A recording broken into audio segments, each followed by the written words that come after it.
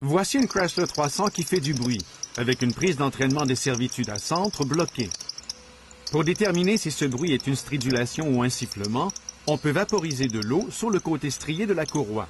Si le bruit devient plus fort, en théorie, c'est un sifflement, ce qui indique donc un problème de tension plutôt qu'un désalignement. D'abord, débranchez la batterie par mesure de sécurité.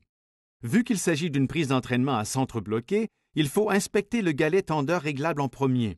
Faites-le tourner, vérifiez s'il coince, s'il colle ou s'il produit un son graveleux. S'il tourne en roue libre, il n'y a plus de graisse. Vérifiez aussi l'oscillation. Une légère oscillation est acceptable, mais si elle est trop forte, cela signifie que la poulie doit être remplacée. Puis inspectez les autres poulies de la prise d'entraînement et remplacez celles qui sont défectueuses. Si toutes les poulies sont bonnes ou que les défectueuses ont été remplacées, installez une courroie d'écho neuve et tendez-la correctement. La vieille courroie est probablement gâtée par le glissement excessif et la vitrification. La tension initiale devrait être réglée suivant la recommandation des ingénieurs de déco. Cette courroie à 6 stries devrait être tendue à 35 livres par strie, soit à 210 livres. Servez-vous d'une jauge de tension conçue pour les courroies à rainures multiples afin de vérifier la tension. Le premier résultat est de 120 livres. Continuez de tendre la courroie en consultant la jauge jusqu'à ce que vous arriviez à la bonne tension. Cette courroie est maintenant tendue selon la tension recommandée de 210 livres. Rappelez-vous de ce chiffre. Faites bien attention à ceci. On saute habituellement l'étape qui suit et c'est ce qui occasionne la plupart des problèmes de tension que connaissent les courroies serpentines dans les prises d'entraînement à centre bloqué.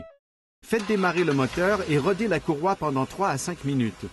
Cela réchauffera légèrement la courroie et lui permettra d'être bien calé contre les poulies. Après le rodage, revérifiez la tension. Cette courroie indique maintenant 150 livres de tension au lieu de 210 comme avant. Il n'y a aucun trucage vidéo.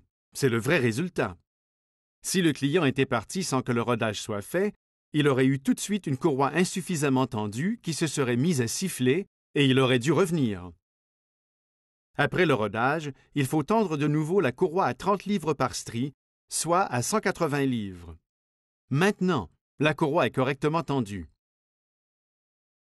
Avec la bonne tension, la courroie peut fonctionner comme elle le devrait, sans glissement ni sifflement.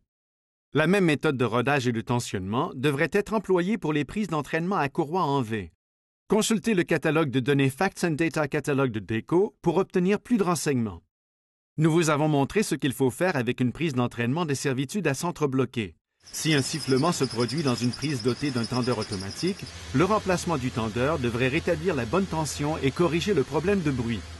La prise d'entraînement des servitudes est un système de précision très sophistiqué, dont la courroie serpentine n'est qu'un élément parmi d'autres. Lorsque la courroie fait du bruit, la solution peut se trouver ailleurs dans la prise d'entraînement.